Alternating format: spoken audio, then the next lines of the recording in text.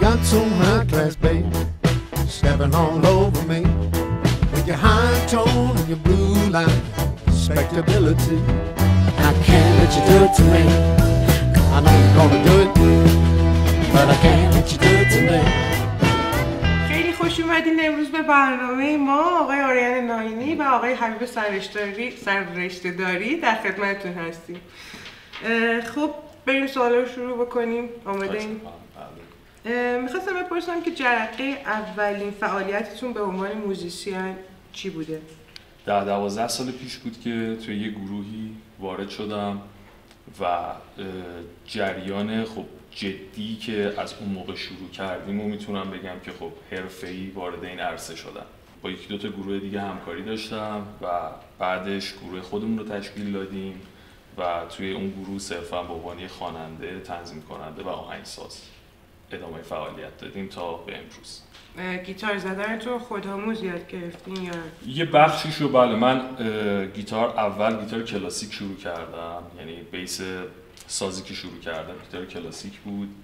بعد آروم آروم علاقم به گیتار الکتریک خب بیشتر شد و برادر بزرگم ساز گیتار الکتریک می نواخت بعد آروم آروم دیگه متودا موزیکای متال راک گوش کردم و تا الان که در خدمت شما هستم کاری چه آرتیستای ایرانی و خارجی میپسندین؟ کیا روی شما تاثیر گذاشتن کلا؟ پیشکسوت های موسیقی راک ما مثل آقای فرشید عربی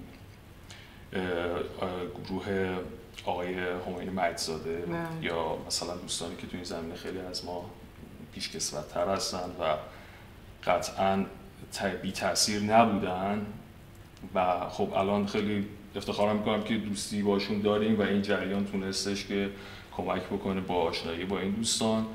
ولی توی گروه های خارجی هم اگر بخواید حساب بکنید خب متالیکا شاید اون زمان خیلی بیس قضیه خیلی همه کسایی که خب موزیک متال گوش میدن قطعا بی تاثیر نبوده.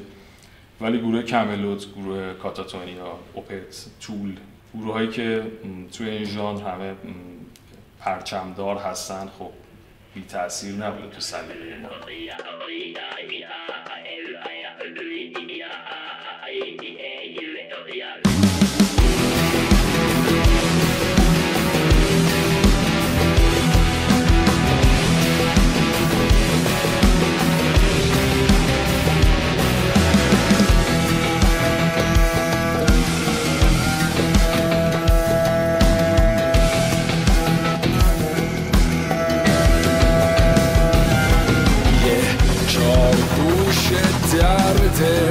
اتاقم یه سریول تنگ فرادی دارم پوست میندازم انگار میشم که آدم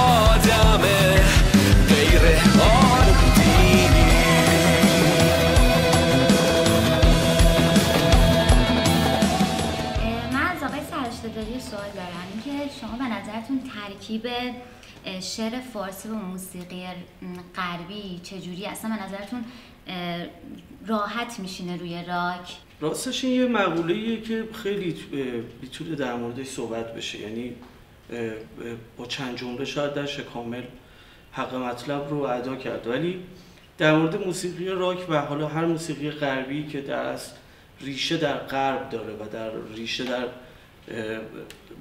فرهنگ ما نداره ما می‌تونیم اون رو بومی سازی کنیم. ولی در اصل در کل ما اول باید تمام پیش زمینه هایی رو که از موسیقی خودمون داریم رو کنار بذاریم تا بتونیم این کار انجام بدیم.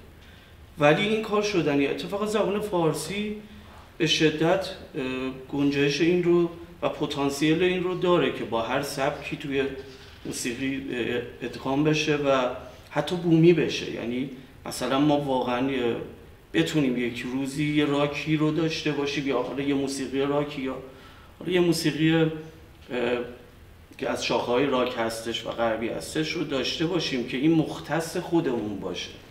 همون جوری که ما الان می‌بینیم که خیلی از موسیقی هایی که توی دنیا هست ریشه در ریشه هاشون برمیگرده حتی به موسیقی ما و کلا خاور میانه و آسیا.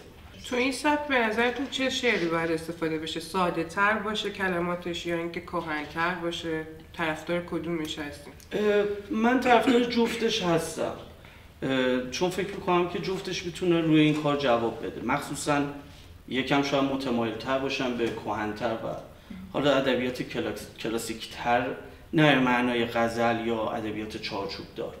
به معنای نوع واژه ها باید اون چارچوب هایی رو که توی موسیقی های دیگه رعایت می‌کنیم و کنار بذاریم. یعنی شما چارچوب ترانه پاپ رو نباید برای موسیقی راک استفاده کنید. به خاطر که در نهایت اون چارچوب باعث میشه که هم برای شنونده و هم برای موزیسین و حتی خواننده باعث میشه که به خاطر اینکه همیشه توی ذهنش اون ملودی اون چارچوب ها با یه سری از ملودی ها از بچگی با همدیگه بوده و بزرگ شدن و اون وزن ها همیشه مختص اون موسیقی پاپ بوده. به طور مثال حالا پاپ رو دارم مثال می‌زنم.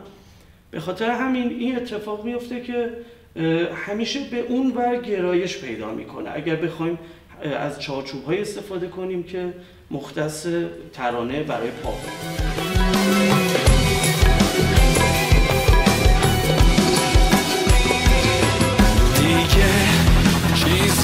یادم نمیاد.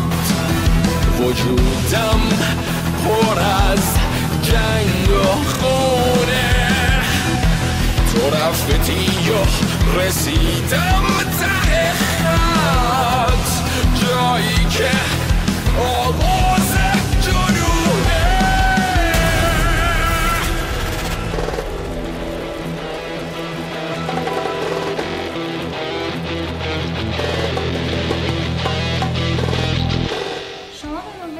ساز زدنتون از اینکه ایدهش چجوری شکلی می‌گیره پرورش پیدا می‌کنه و به اون اجرا می‌رسه؟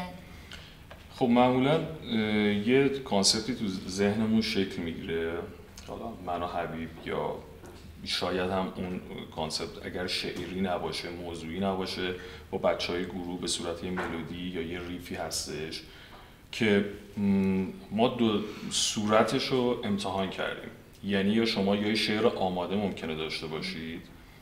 بر مبنای شعر آهنگ سازی بکنید. یا اینکه یه آهنگ یا یه ملودی داشته باشین که بخواین روی اون شعر رو سوار بکنید حالا خدا رو شاعری که ما داریم قابلیت جفت انجام این دو روش رو همیشه داشته و هیچ وقت زمینه فرمی خاص دیگه رو نخواستیم امتحان بکنیم که مثلا یه شعر کلاسیک از یه کس دیگه رو برداریم بخوایم روی اون آهنگسازی بخوایم بکنیم. ولی خب حضور ترانه سرا و شاعر قدرتمند که هم به ارکان ادبی واقف باشه هم گستره واژگان لغت وسیعی داشته باشه خیلی کمک می‌کنه به این جریان. اصلا خیلی کمک می‌کنه. من الان خیلی وقته که می‌بینم بیشتر بندایی که هستن مشکل شعر دارن. یعنی. مشکل این دارن که شاعر نیست اصلا بله. که براشون شعر بگه یا از شعری هم که استفاده می‌کنن اون بازدهی که باید داشته باشه رو نمی‌گیرن. معمولاً- حالشون خوب نیست. آره بله. معمولا خود موزیسین ها اونایی که آهنگساز هستن شعر کارشون هم میگن. بله. چقدر مهمه که شاعری که واسه سبک شما شعر میگه ریتم بدونه؟ قطعا خیلی مهمه. موسیقی حتی تا یه حدی باید بشناسه چون جدای از اون قافیه و ردیف و اون به قول معروف اوزان استانداردی که توی شعر قرار رعایت بشه شاعر باید حال و هوای موسیقی رو هم بشناسه. یعنی شما می‌بینید یه شعر آماده روی یه فضای موسیقی دارک شاید اصلا یه جورایی مثل وصله نچسبه نمیشینه. چون اون شعر اصلا یه فرم دیگه و به زور می‌خواد خورونده بشه. اگر من فکر می‌کنم خیلی بحث مثلا حالا خیلی معتقدن که خیلی خواننده ها شاید روی این قضیه تعصب دارن که خب شعر رو حتما خودشون بنویسن. درست. اگر پیش زمینه این جریان رو داشته باشن خب مسئله ای نیستش ولی چون یه بحث کاملا تخصصی هست شاید زمانی که باید روی این جریان شعر گذاشته بشه به اندازه همون جریانی هستش که شاید یه آهنگساز صرف یاد گرفتن یه ساز می‌کنه یا یه تنظیم کننده صرف تنظیم کردن یه آهنگ می‌کنه. توی زمینه شعر توی کشورمون خب آدمای زیادی داریم چون شعر کهنه ایرانی خب پیشینه خیلی طولانی توی ایران داره. ولی شاید سازهای جدیدی که الان وارد ایران شده و خیلیشون هم غربی هست این پیشینه رو نداشته باشن. خاطر همین پیشنهاد من این هستش که از کسی استفاده بشه که توی زمینه شعر بتونه دین موضوع رو به قول معروف ادا بکنه. بدون ایرادهایی که حالا شاید الان مثلا وزارت ارشاد خودش شعر شما رو ارزیابی می‌کنه. ممکنه شعر شما مشکلی نداشته باشه از لحاظ ملودیکی که خودتون سوار کردید ولی قطعا ممکنه شورای شعر یه سری ایراد بگیره که اون ایراده ایراده فاحشی هست. مردم ما هم ایراده شعری رو خیلی خوب تشخیص میدن. شاید تو موسیقی متوجه یه سری از باگانشن ولی توی شعر من چیزی که خودم دیدم این بوده که قشنگ همه آدم ها مثلا یه حتی راننده تاکسی یه شعر عجیب غریبی که شما خورونده باشی داخل موزیکو تشخیص میده.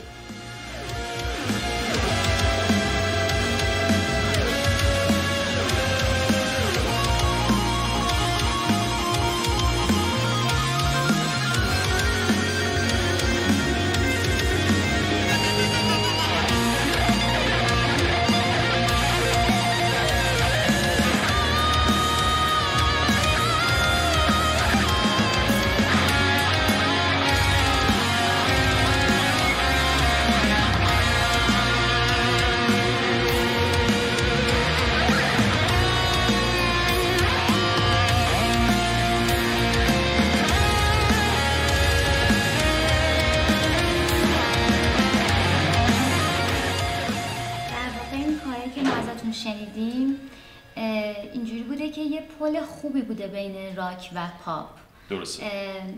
شما بیشتر بگین دیدگاهتون چی بوده؟ خودتون از اول به این فکر کردین یا نه رفتین جلو و فهمیدین که خب من الان می‌تونم این کار رو انجام بدم این کار رو انجام دادم؟ درسته. ببینید بین پاپ که نمیشه خیلی گفت. شاید بین سبک حالا راک؟ بین پاپ و راک دیگه پل خوبی آره, آره، خیلی این ذهنیت نبوده که الان بیایم یه موسیقی بسازیم. ما موقعی که داشتیم آلبوممون رو میبستیم هیچ وقت به این فکر نکردیم که می‌خوایم روزی برای این آلبوم مجوز بگیریم. و وقتی هم که برای مجوزش اقدام کردیم شاید باورتون نشه کلا دو تا اصلاحیه خیلی کوچیک خورد. یعنی می‌خوام بهتون بگم آلبومی که در نهایت پالایش شد و بیرون اومد به اون صورت تیغ سانسوری بهش نخورد. حالا نمی‌دونم شانس ما بوده چون خیلی بدتر از ما من دیدم دوستان مراجعه کردن و نتونستن همون شعرها رو با همون فرم ادبیات مجوز براش بگیرن.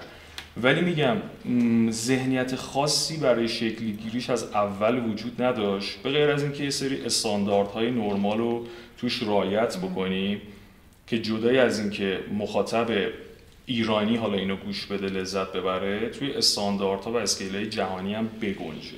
یعنی مخاطب خارجی هم اگر اومد موزیک ما رو گوش کرد زبان آهنگ رو نفهمید بازم یه جوری نباشه که از اصل داستان موسیقی لذت نبره. همونطور که ما الان موسیقی خارجی خوب گوش میدیم شاید متوجه شعر نشیم ولی خب از اصل موسیقی لذت می‌بریم. جادوی موسیقی دیگه. آره بله. مثلا ایتالیایی من خودم مثلا نمیفهم ولی خب باشه بله دقیقا همینطوره. این روزا در حال چه پروژه‌ای هستی؟ انجام چه پروژه‌ای؟ این روزا داریم سعی می‌کنیم که علا رقم این که حالا یه مقدار شرایط کنسرت گذاشتن اینا سخت هستش. با گروه خوبی که داریم که بچه ها از نوازنده های بهتری نوازنده های راک و متال خب ایران هستن داریم سعی می‌کنیم اگر بشه خب یه اجرایی بذاریم یا کلا وارد مقوله کنسرت گذاشتن بشیم. اگر شرایط و وضعیت خب کنسرت گذاشتن هم از لحاظ تجاری حالا هم از لحاظ مجوز حکومتی بخواد اوکی باشه که بتونیم بالاخره آلبومی رو که ارائه کردیم چون مخاطبای زیادی پیدا کرده خدا رو شکر و جوری بوده که خیلی خوششون اومده از آلبوم استقبال خیلی خوبی شد. دوست داریم چون می‌دونیم ظرفیتش وجود داره از لحاظ مردمی که استقبال بخوام بکنن فقط میگم با توجه به اینکه خب سخته دیگه. بدون خب تهیه کننده بدون جریاناتی که چون به هر حال یه سری هزینه هایی وجود داره توی. همه زمینه های ضبط موسیقی. تمرین هایی که می‌خوایم بذاریم بالاخره زمانی که بچه ها می‌خوان برای این جریان بذارن. و امیدواریم که به یه ثمر و یه نتیجه برسه که بتونیم این جریان رو استارتش رو بزنیم و ارائه بدیم و جلو ببریم.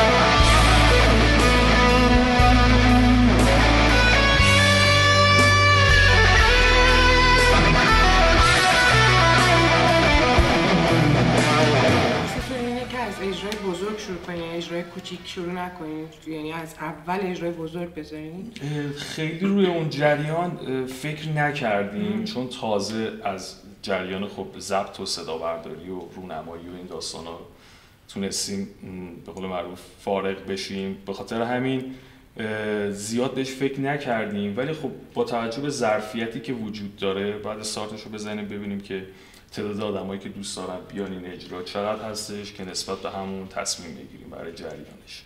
آلبوم جدیدی تو راه از آلبوم جدیدتونم می‌تونیم بگیم. ببینید آلبوم جدید ممکنه که به صورت تک آهنگ تک آهنگ باشه. یعنی یه مجموعه جدیدی ما جمع کردیم که 8 تا track داره به اسم سپاه سایه. که یکی از آهنگاش به اسم بختک جدیدن منتشر شده. بقیه آهنگاش هم توی همین فرم موزیک هست. یعنی یه فرم راک حالا تا یه حدی progressive ممکنه باشه تا یه حدی ambience بخواد باشه. این جریان ها رو داریم سعی می‌کنیم ببریم جلو و همزمان با گروهمون تمرین بکنیم و اگه بشه به یه پلیلیستی برسیم که ترکیب آهنگ آلبوم آهنگ آلبوم قبلیمون و همین جدیدایی باشه که داریم ضبط می‌کنیم. از دو تا ترکی که برامون آماده کردین بگین. حالا اگه راجع به شعرش صحبتی دارین یا راجع به کل کار. نیکاین و بختک درسته؟ بله.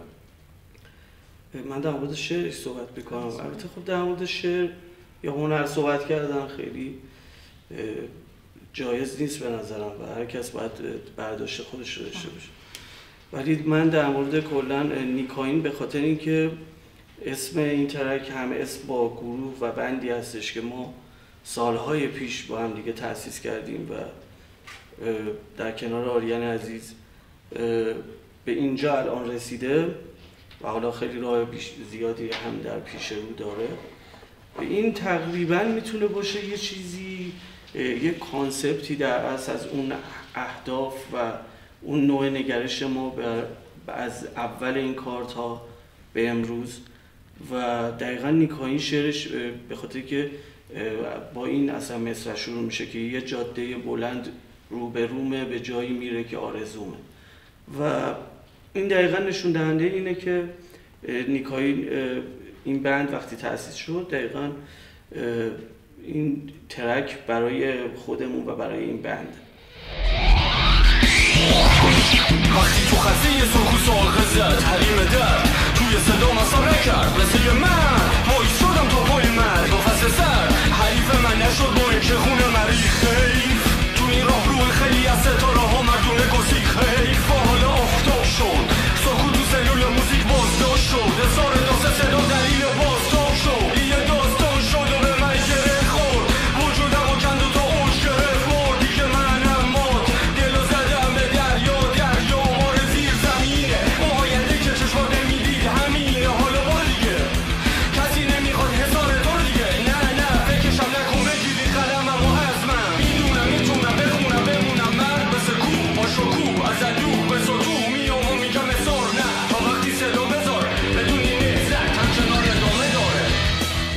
هم که اگه بخوایم خیلی کلی در موردش صحبت کنیم اسمش بختکه و خودش هم فضاش هم تقریبا یه حالت بختک رو تدایی می‌کنه.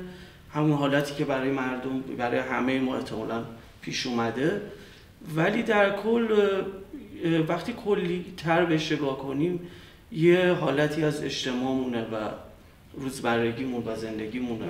زندگی. بله دقیقا. و اون روزمرگی بیشتر. یعنی وقتی اون روزمرگی مثل یه بختک میفته روی مردم اه، درسته شما داری فعالیت می‌کنی هر روز صبح پا میشی سر کار میری زندگی تو انجام میدی ولی از اسیر یه بختکی هستی انگار که همیشه روته و هیچ وقت نمی‌ذاره که بتونی اون صد روتین بودن و اون دست کالبد یا پیله روزمرگی رو پاره کنی و ازش بیرون بیای.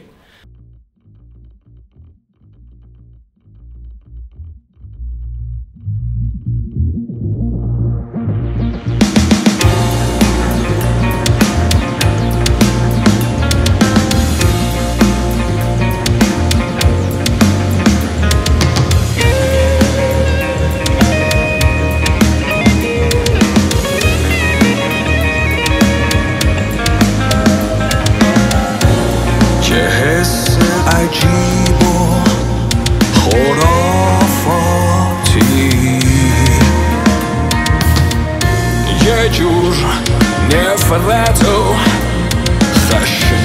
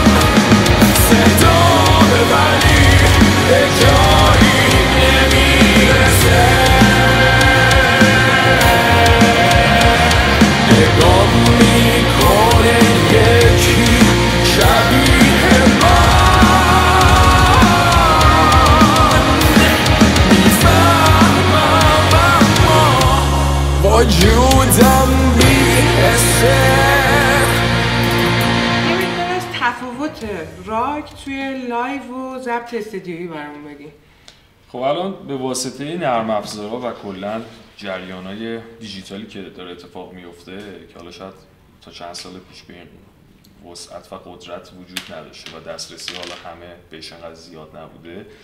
ضبط های استودیویی خب خیلی دستخوش تغییرات و به سمت ایدئالگرایی بیشتری خب میده. چون خیلی شما دستتون بازه که مثلا یه نوازنده گیتار ممکنه که توی استودیو پنج تا line گیتار رو ضبط کنه ولی خب قطعا توی live این امکان رو نداره.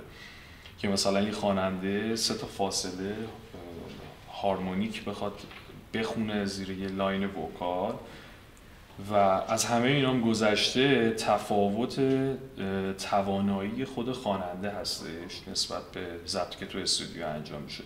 چون ممکنه شما یه قسمت کوتاه توی یه استودیو امکانی داشته باشین که چه می‌دونم 50 تا تک بگیرین و ایدال ترینش رو انتخاب بکنین. ضمن. اینکه خ- کلا خواننده های راک از تکنیک های خاصتری استفاده می‌کنن. تا خوانندهایی که تو هر سبکی خب ویژگی های خاص خودش رو داره.